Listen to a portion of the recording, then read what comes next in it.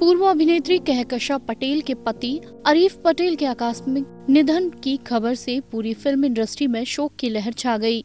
जैसे ही यह दुखद खबर सामने आई तो फ़िल्म उद्योग के कई मशहूर हस्तियाँ उनके घर पर दुख प्रकट करने पहुँचे, जिनमें करण जौहर, मनीष मल्होत्रा, गायत्री जोशी, संगीता बिजलानी, सुनील शेट्टी की पत्नी मान शेट्टी, रवीना टंडन, प्रिया दत्त, मधुर भंडारकर, गौरी खान रितेश सिद्धवानी अपनी पत्नी के साथ फोटोग्राफर, डब्बू रत्नानी, डीनो मोरिया सहित कई अन्य कलाकारों के नाम शामिल हैं।